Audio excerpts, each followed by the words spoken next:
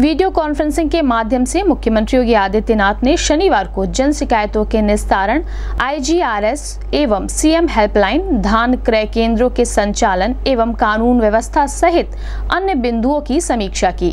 गोरखपुर के आयुक्त सभागार में आयोजित वीडियो कॉन्फ्रेंसिंग में एडीजी अखिल कुमार मंडलायुक्त Rami Kumar NG DIG J Ravindra Gaur, जिलाधिकारी Vijay Kiran Anand SSP doctor Vipin Tada CDO Indrajeet Singh ADM finance Rajesh Kumar Kumar Singh, CMO doctor Sudhakar Pande सहित संबंधित विभागों के अधिकारी मौजूद रहे।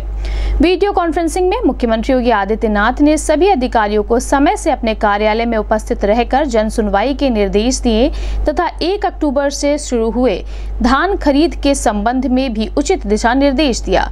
इसके साथ मुख्यमंत्री ने कानून व्यवस्था सहित अन्य व्यवस्थाओं की समीक्षा करते हुए उचित दिशा निर्देश दिए।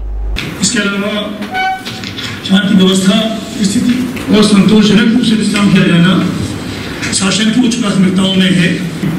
प्रतिदिन प्रातः दस बजे से बारह बजे के बीच में उसमें जन सामान्य के लिए उपलब्ध है। सभी जिलाधिकारियों और वरिष्ठ पुलिस अधीक्षकों